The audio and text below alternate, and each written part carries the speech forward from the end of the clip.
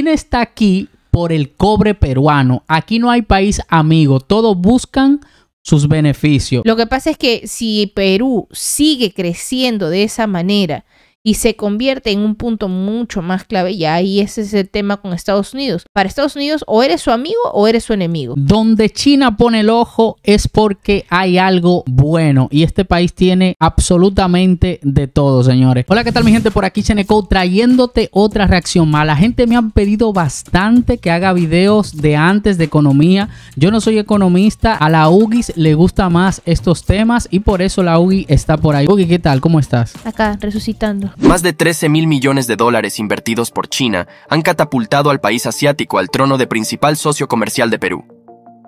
Este impresionante despliegue de capital chino en suelo peruano plantea cuestionamientos profundos sobre el equilibrio entre el desarrollo económico y la influencia dominante.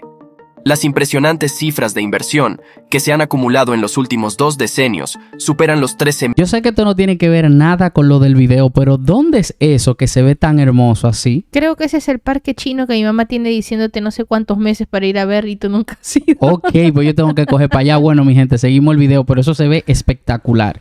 mil millones de dólares. Este capital, canalizado a través de 32 proyectos, no solo ha inyectado vida a la economía peruana, sino también ha creado más de 18.000 empleos, marcando una profunda huella en el país. Más allá de las estadísticas, los tentáculos de China se extienden a proyectos estratégicos de gran relevancia, como el megapuerto de Chancay, donde la empresa Costco Shipping Ports Chancay Perú se ha involucrado con inversiones que superan los 1.300 millones de dólares en la primera fase y proyecta un desembolso adicional de 2.300 millones de dólares en la segunda etapa. Además, la adquisición de la compañía de electricidad Enel coloca a China en la posición de controlar el 100% del suministro eléctrico en Perú, ya que Luz del Sur pasó a ser propiedad del grupo China Three Gorges Corporation en el año 2020. Las inversiones chinas se enfocan principalmente en los sectores de finanzas y minería, representando más del 80% de la inversión extranjera directa. En finanzas, la inversión creció exponencialmente, alcanzando los 942 millones de dólares en el año 2022 desde los 370 millones de dólares en el año 2020. En el ámbito minero, la inversión asciende a 157 millones 800 mil dólares. Pero no solo es el capital lo que reluce, es la presencia constante de China en proyectos de construcción de envergadura, destacando el megapuerto de Chancay, junto con otras obras como las minas Río Blanco, Pampa de Pongo y la hidrovía amazónica. China, con su ojo puesto en el desarrollo de Perú, Señores, me he dado cuenta que estos temas del, del puerto de Chancay, de, de economía, de todo lo que tiene que ver con el crecimiento peruano, Ugi, gusta muchísimo. Y si te das cuenta, la mayor parte de la inversión que está generando o que está haciendo China, obviamente es con su segunda, ¿no? Porque nadie invierte sin tratar de obtener un beneficio. Pero la inversión que ellos están haciendo están generando para nosotros puestos de trabajo y un crecimiento económico. Ahora, el tema está en que, como siempre, como las entidades más grandes son los que cogen, te venden, ¿no? O sea, lo que siempre te, te trato de explicar es como que una gente que busca una inversión, eh, ya, es lo mismo que en tu carrera musical. Tú buscas a una gente que busque, que sea tu, tu vendedor. Claro, no, pero siempre contratan como que a un intermediario. Ok, que, este, busca, un eh, busca fiesta, como le dice. Pero ese busca fiestas también busca un inversionista.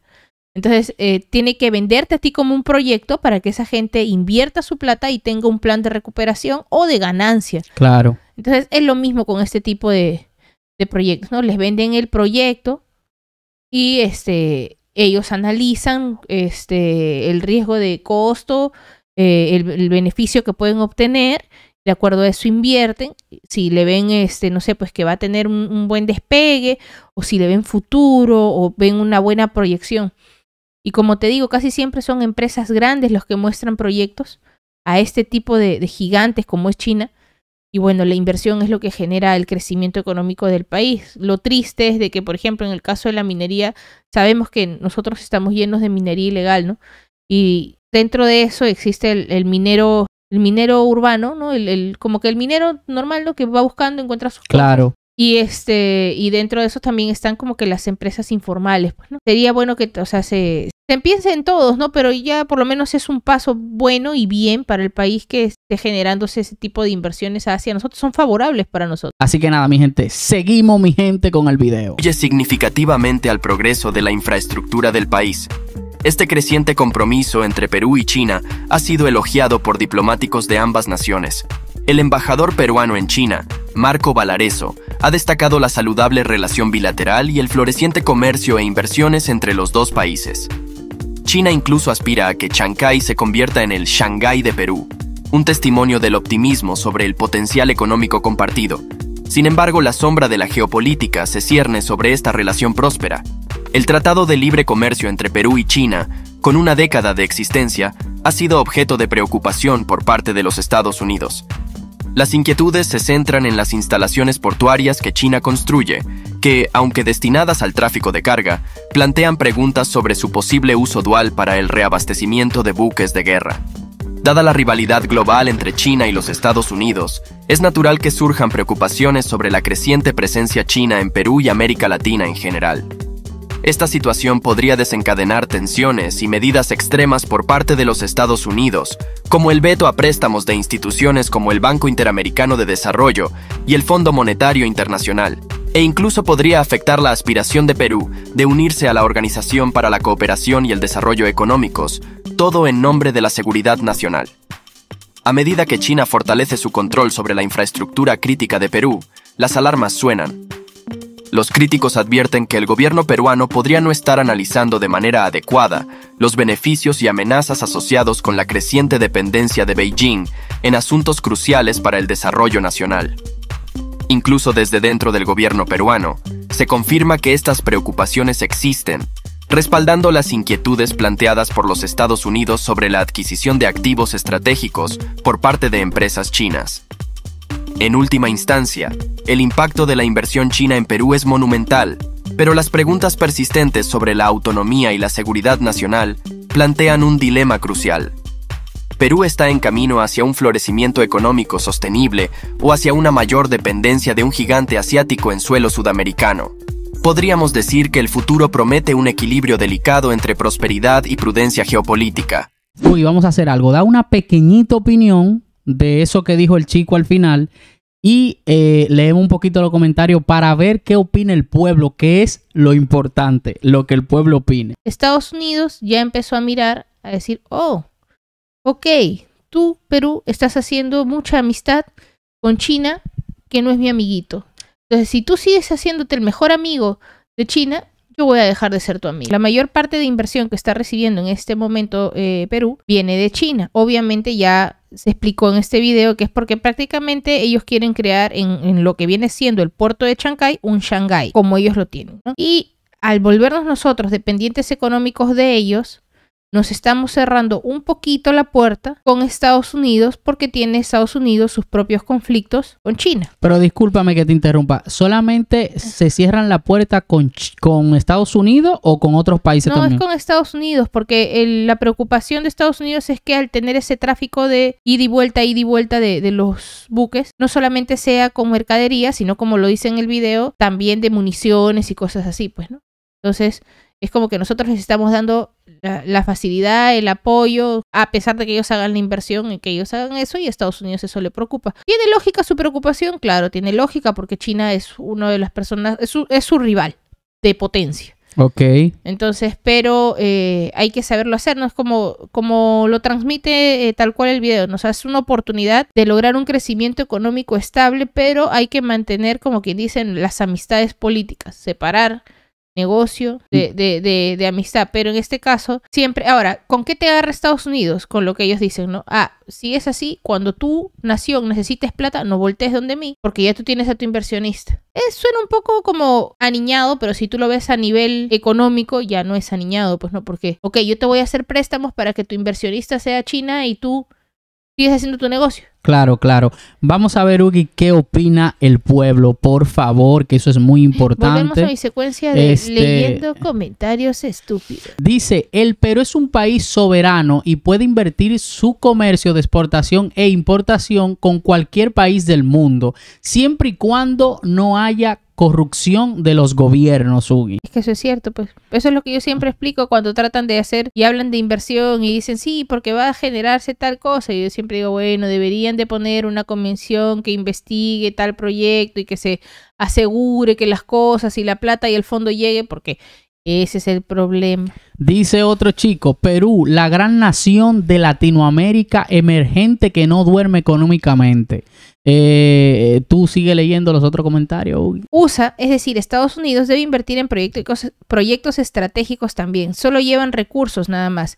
China viene innovando en Latinoamérica, México, por ejemplo, está repleto de inversiones chinas, hay hasta fábricas enormes. Estados Unidos también colabora con el desarrollo mexicano, así ambos tienen una competencia más sana.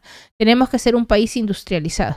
Ah, pues es lo que te digo, lo que ellos Claro. te proveen, Estados Unidos te provee recursos, que es lo que te acabo de decir. Claro, ah, ok, claro. tú estás haciendo negocios con China, ya no te va a prestar plata. Eso, eso es lo que quiere hacer Estados Que Unidos. Estados Unidos es ñoño, ¿oíste? Estados Unidos es como que, yo diría, yo le diría el Kiko, ¿o no?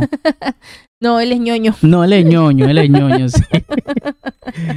Dice otro comentario. Dice, toda inversión es bienvenida. Estados Unidos siempre nos quiere ver pobres como país irrelevante y el gobierno peruano debe ser pragmático en sus objetivos de desarrollo con responsabilidad de ambos países, siempre buscando su beneficio. beneficio. Beneficio, beneficio. Seguimos, Ugi. Ah, Este por aquí, ejemplo, este. Estados Unidos debería invertir en el megapuerto de Corío y en el puerto espacial. Los chantajes no van con Perú, se debe romper todo chantaje. Eh, Es lo que, otra vez la misma cosa, o sea, ellos te, te tienen una, una forma como que si yo te estoy solventando tu recurso, pero caramba, ellos nos dan el recurso, pero se sirven de nosotros de una manera, pero ya descarada. Es que, es que lo que ellos hacen es que te Nos meten un poquito, no, y te meten un poquito, por decirlo así, de miedo para que tú, eh, Uno para que tú, para que tú estés de su lado, claro. Eh, dice otro mensaje, dice, yo solo me hago una pregunta, ¿por qué Estados Unidos no, no hizo lo que ahora China hace? Es una pregunta de... Es que de- tiene lógica, porque tiene y aquí viene pues porque el, el chino es más negociante, en cambio el, el- o sea, ellos buscan su beneficio, Y también Estados es Unidos más estratégico. es más estratégico, pero también son como un poquito más orgullosos en muchas cosas. Sin embargo, porque les gusta ver a los a nosotros nos ven a, a los a los latinos nos ven como cualquier cosa. sin embargo, los chinos son más estratégicos, son más eh, negociantes, negociantes. negociantes, pero full. Ugi, vamos a leer, hay muchísimos comentarios, Este Ugi, pero vamos a leer este último, que es este de por aquí, Ugi. Ya dice, si Estados Unidos quiere un equilibrio geopolítico en Latinoamérica, entonces que invierta en el puerto de Corío, que se reúna con el gobierno peruano y el gobierno regional de Arequipa, que tiene más potencial que el puerto de Chancay para que estén más tranquilos en la Casa Blanca. Es cierto. Muy interesante lo que acaba de decir el ese puerto chico. de Corío, el puerto de Corío es cierto, es un proyecto mucho más grande.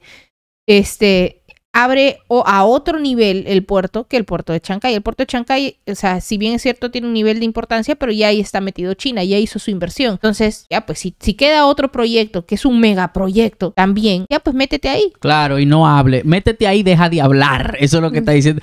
Eh, mira, por último, voy a leer un, un último comentario que me llama la atención y es cortitico y dice, China está aquí por el cobre peruano. Aquí no hay país amigo. Todos buscan sus beneficios. Es cierto lo Lo que, tú dijiste. dije. Todos buscan su beneficio. Acá China no es que nos vea como que, ah, no, mira, Perú tiene potencia, vamos a ayudar. No, ellos hacen una mínima inversión porque, a ver, nosotros somos una mínima inversión para ellos porque ellos son una potencia mundial.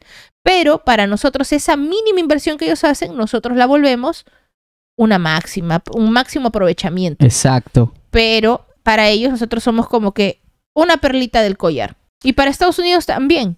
Lo que pasa es que si Perú sigue creciendo de esa manera y se convierte en un punto mucho más clave, ya ahí ese es el tema con Estados Unidos. Para Estados Unidos o eres su amigo o eres su enemigo. Bueno, para finalizar, yo lo único que sé que donde China pone el ojo es porque hay algo bueno y este país tiene absolutamente de todo, señores. Pone Bueno, la bala. Hasta aquí el video, señores. Recuerden dejar su like, recuerden suscribirse y, y por favor déjenme en los comentarios qué clase de video a ustedes les gusta para yo seguir subiéndolo porque algunas veces yo trato de subirle cosas diferentes pero la gente no lo ve. Así que nada, mi gente, esto es Sheneco Show con la Ugis. Así que ya tu chavo.